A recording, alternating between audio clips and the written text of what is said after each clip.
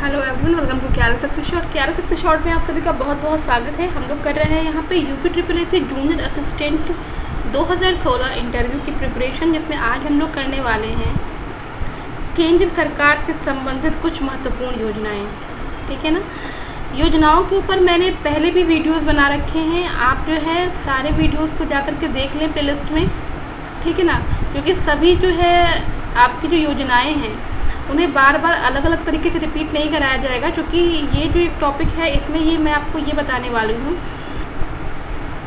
तो इसमें हम लोग क्योंकि देखने वाले हैं, केंद्र सरकार से रिलेट करती हुई महत्वपूर्ण पाँच योजनाएँ ठीक है ना? अगर आपसे पूछ दिया जाए, ठीक है? अगर आपसे पूछ दिया जाए कि कोई भी पाँच ऐसी योजनाओं का नाम बताइए, जो कि केंद्र सरकार से संबंधित हैं, जो कि केंद्र सरकार के द्वारा बनाई गई हैं, ठीक है? राज्य सरकार के द्वारा बनाई गई योजनाएँ पूछेगा तो आप राज्य सरकार के द्वारा बनाई गई योजनाएँ बता देंगे, ठीक है? जैसे विधवा पेंशन योजना है, ठीक है? विकलांग पेंशन योजना है, और भी जो है बहुत सारी जो है विवाह योजना है, ठीक है ना? तो उस तरह से आप बताएँगे। अगर महिलाओं से रिलेटेड पूछेगा, उत्तर प्रदेश का पूछ रहा है मतलब कि राज्य सरकार द्वारा तो वो बताएँगे। अगर आपसे केंद्र सरकार से पूछ रहा है तो वो बताएँगे। तो जिस तरह से क्वेश्चन आपसे पूछा जाए, उस तरह से आप आंसर करेंगे। फ़िलहाल हम लोग बात कर रहे हैं केंद्र सरकार से रिलेटेड महत्वपूर्ण योजनाएँ। जिसमें से पाँच योजनाएँ मैं आपको बताने वाली हूँ। सबसे पहली जो योजना है, ध्यान से सुनिएगा, हर चीज़ को मेंशन नहीं किया जाएगा। ठीक है? जो सबसे पहली योजना है, वो है प्रधानमंत्री मोस्ट इंपॉर्टेंट है, जन धन योजना। ठीक है? जन धन योजना। जिसको बोलते हैं P M J D Y P M J D Y ठीक है? अब देखो, अब बस सुनना है आपको इसमें। आप अगर एयरफोन यूज़ करते हैं तो आप लोग एयरफोन जो है लगा लें। और इस वीडियो को खासकर जिसमें मुझे, मैं जो है पाँच वीडियो मतलब आपको जो है पाँच योजनाएँ बता रही हूँ आप इसे रोज़ जो है, जितने मिनट का वीडियो है, आप इसे दो बार सुनेंगे, आपको जो है बहुत आराम से सारी चीज़ें सुन के याद होने वाली हैं। ठीक है? प्रधानमंत्री जन धन योजना। ठीक है? इसमें है क्या कि प्रत्येक परिवार के लिए कम से कम एक मूलभूत बैंक खाता। ठीक है ना? सबसे पहले क्या चाहिए? एक मूलभूत बैंक खाता। ठीक है? वित्तीय साक्षरता, ऋण, बीमा और पेंशन सुविधा तक पहुँच के साथ देश के सभी परिवारों को बैंकिंग सेवाओं तक सार्वजनिक पहुँच प्रदान करने के लिए जो है, प्रधानमंत्री जन धन योजना को जो है लाया गया। ठीक है? मतलब कि सबके पास खुद का जो है अपना क्या हो? बैंक अकाउंट हो। ठीक है ना? यानी कि बैंकिंग सेवाएँ जो हैं, उन लोगों को प्रदान करने के लिए जो है, प्रधानमंत्री जन धन योजना का जो है शुभारंभ किया गया और इसका शुभारंभ कब किया गया था? 15 अगस्त 2014 ठीक है? 15 अगस्त 2014 ठीक है? तो इसकी घोषणा की गई थी 15 अगस्त 2014 की। ठीक है? इसके अंतर्गत सिंपल सी बात यही है कि ऐसा कोई भी व्यक्ति, ठीक है जिसका कोई भी सेविंग अकाउंट ना हो, यानी कि बचत बैंक खाता ना हो, वो बिना किसी न्यूनतम शेष की आवश्यकता से एक खाता खोल सकता है। ठीक है? ठीक है ना? तो अगर ये चीज़ आपको जानना है कि अगर उसके पास कोई सेविंग अकाउंट नहीं है, ठीक है तो उसके बिना भी वो न्यूनतम शेष की आवश्यकता के एक खाता खोल सकता है। ठीक है? अगर वो ये भी प्रमाणित कर लेता है कि उसके पास अपना सेल्फ अकाउंट खोलने के लिए कोई भी वैध दस्तावेज़ नहीं है, कोई भी डॉक्यूमेंट नहीं है तो वो एक छोटा खाता खोल सकता है। ठीक है?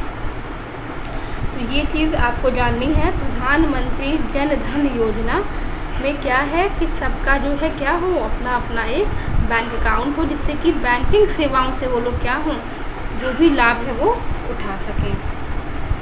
ठीक है? इसमें क्या है कि दो लाख रुपए का दुर्घटना बीमा कवर होता है। इसके अंतर्गत क्या होता है? दो लाख रुपए का दुर्घटना बीमा कवर ठीक है? दुर्घटना बीमा कवर ठीक है? इसके अंतर्गत दो लाख रुपए का दुर्घटना बीमा नंबर टू सिंपली आपको बहुत ज़्यादा ब्रीफ में नहीं जाना है, ठीक है? पॉइंट टू पॉइंट बातें बताएँ, प्रधानमंत्री जन धन योजना, इसकी घोषणा जो है 15 अगस्त 2014 को की गई थी प्रधानमंत्री नरेंद्र मोदी के द्वारा, ठीक है? इसमें क्या है? इसमें इसका जो लक्ष्य है कि सभी व्यक्तियों का जो है अपना खुद का बैंक अकाउंट हो, ठीक है? जिससे वो क्या कर सकें? जो भी बैंकिंग सुविधाएँ हैं बैंकिंग सेवाएँ हैं, उनका लाभ उठा है प्रधानमंत्री जीवन ज्योति बीमा योजना, ठीक है? दूसरा है आपका प्रधानमंत्री जीवन ज्योति बीमा योजना। ठीक है, प्रधानमंत्री जीवन ज्योति बीमा योजना। सबसे पहले देख लेते हैं कि ये किन लोगों के लिए है। प्रधानमंत्री जीवन ज्योति बीमा योजना जो है, ये जो है 18 से 50 वर्ष के आयु समूह के लोगों के लिए है। ठीक है ना? 18 से 50 वर्ष के आयु समूह के लोगों के लिए जो है ये योजना उपलब्ध है। ठीक है? इसमें क्या है? पहले तो ये जान लीजिए कि इसमें दो लाख रुपए का जोखिम कवरेज है, ठीक है ना? यानी कि इस योजना को, यानी कि इस योजना से जिन लोगों ने भी बीमा लिया है या कोई व्यक्ति अगर बीमा कराता है तो मृत्यु के मामले में उसे दो लाख रुपए का कवरेज दिया जाएगा, ठीक है ना? दो लाख का कवरेज है कब? मृत्यु के मामले में। ठीक है, दो लाख का कवरेज इसमें करना क्या होता है? इसमें करना ये होता है कि आपको जो है, इसका जो प्रीमियम है, वो कितना है? तीन सौ तीस रुपये प्रति वर्ष है। ठीक है ना? ये भी ध्यान रखें कि इसका जो प्रीमियम है, ये पैसा भरना पड़ता है इसमें प्रति वर्ष। ठीक है? रुपये तीन सौ तीस। ये आपको ध्यान रखना है। जो इम्पोर्टेंट चीज़ें हैं, बता रही हूँ बार बार वही बताया जा रहा है। ठीक है ना? तो ये आप जान लें कि जो प्रीमियम है, वो तीन सौ तीस रुपये प्रति वर्ष है इसके लिए। ठीक है? तो ये चीज़ जो है, आपको ध्यान रखना है कि प्रधानमंत्री जीवन ज्योति बीमा योजना में 18 से 50 वर्ष तक के लोग जो हैं, अपना जो है, बीमा करा सकते हैं। मृत्यु होने पर इसमें दो लाख रुपए का कवरेज है और प्रीमियम जो है तीन सौ तीस रुपये प्रति वर्ष है। ठीक है ना? रुपये तीन सौ तीस प्रति वर्ष है। ये चीज़ आप नोटिस कर लेंगे। नंबर थर्ड प्रधानमंत्री सुरक्षा बीमा योजना। अब देखो, प्रधानमंत्री सुरक्षा बीमा योजना। सुरक्षा बीमा योजना। इसके अंदर देखो, सबसे पहले तो ये जान लो जो प्रधानमंत्री सुरक्षा बीमा योजना है और जो प्रधानमंत्री जीवन ज्योति बीमा योजना है, इन दोनों में क्या है ना डिफरेंस क्या है कि जो जीवन ज्योति बीमा है, उसका जो है प्रीमियम जो है वो तीन सौ तीस रुपये प्रति वर्ष है। लेकिन जो प्रधानमंत्री सुरक्षा बीमा योजना है, इसका जो प्रीमियम है, वो क्या है? बारह रुपये की वार्षिक प्रीमियम कटौती, ठीक है ना रुपये बारह वार्षिक, ठीक है ना? रुपये बारह वार्षिक। किस आयु वर्ग के लोगों के लिए है? ये 18 से लेकर के 70 वर्ष तक की आयु के लोगों के लिए जो है, बनाई गई है प्रधानमंत्री सुरक्षा बीमा योजना। कोई भी अगर दुर्घटना हो जाती है, इस योजना के अंतर्गत अगर कोई व्यक्ति है, उसके साथ अगर कोई दुर्घटना हो जाती है, ठीक है तो अगर उसकी मृत्यु हो गई और वो पूर्ण रूप से विकलांग हो गया तो जो इसका जोखिम कवरेज है, वो दो लाख रुपए है। ठीक है ना? यानी कि मृत्यु होने पर या पूर्ण विकलांग होने पर, ठीक है ना? पूर्ण विकलांग होने पर भी जो है, दो लाख रुपए का जोखिम है। ठीक है ना? दो लाख रुपए का जोखिम है। साथ ही में अगर पूर्ण विकलांग नहीं होता है, आंशिक विकलांग हो जाता है। ठीक है ना? जो व्यक्ति ने ये बीमा कराया है, उसका कोई दुर्घटना होता है उसके साथ और वो आंशिक रूप से विकलांग हो जाता है तो जो जोखिम कवरेज है वो एक लाख रुपए है, ठीक है? एक लाख रुपए क्या है? जोखिम कवरेज ठीक है? ये समझ में आ गया? तो इसमें आप समझ चुके हैं कि इसमें जो है बारह रुपये जो है प्रीमियम है प्रति वर्ष, ठीक है? यानी कि वार्षिक। ठीक है? चलिए नेक्स्ट देख लेते हैं इसके बाद से जो हमें देखना है वो क्या है। तो नेक्स्ट है हमारा फोर्थ नंबर पे। हमें सिर्फ़ पाँच ही देखने हैं। वीडियो बहुत छोटा होगा। ठीक है? फोर्थ नंबर पे है अटल पेंशन योजना।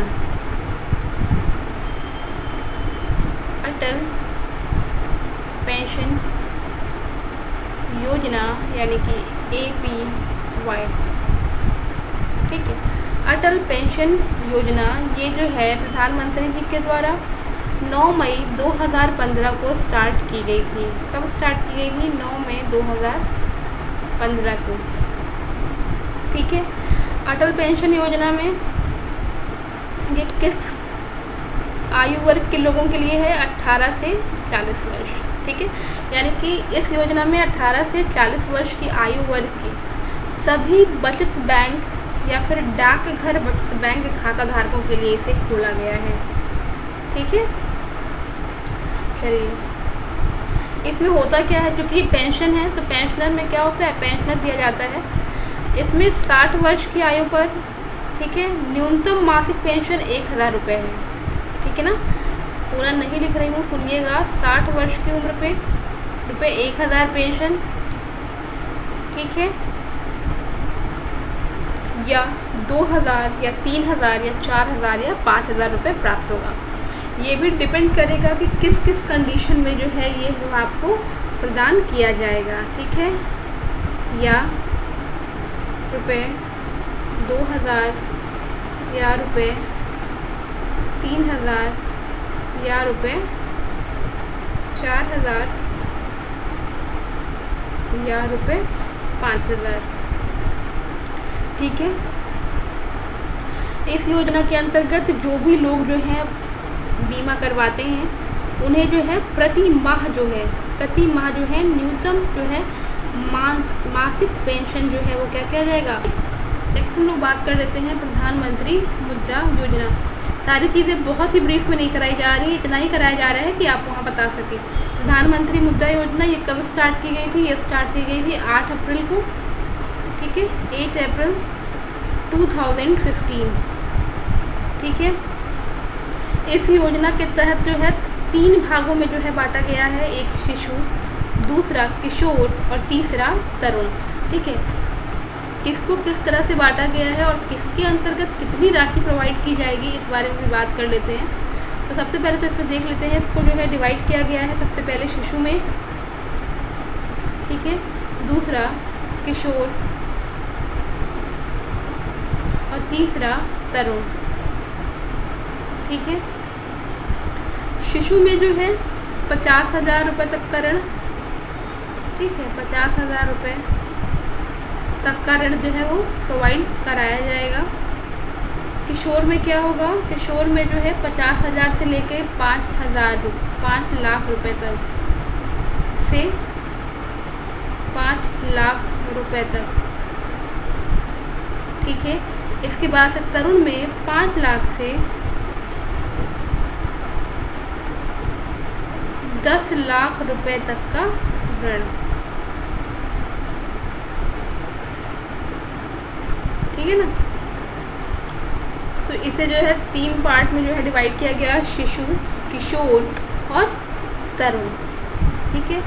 शिशु के तहत पचास हज़ार रुपये तक का ऋण, किशोर के तहत पचास हज़ार से पाँच लाख, तरुण के तहत पाँच लाख रुपए से लेकर के दस लाख रुपए तक का ऋण जो है इसमें दिया जाता है। ठीक है? चलिए, यही सबसे ज़्यादा इम्पोर्टेंट है इसमें। अगर और कुछ आप पढ़ना चाहते हैं इसमें तो और भी जो है, जैसे कि मान लीजिए स्टैंड अप इंडिया योजना। ठीक है? अगर आप कुछ और पढ़ना चाहते हैं इसमें तो मैंने तो खैर पाँचवीं के लिए इसमें मेंशन किया है, लेकिन एक और योजना है स्टैंड अप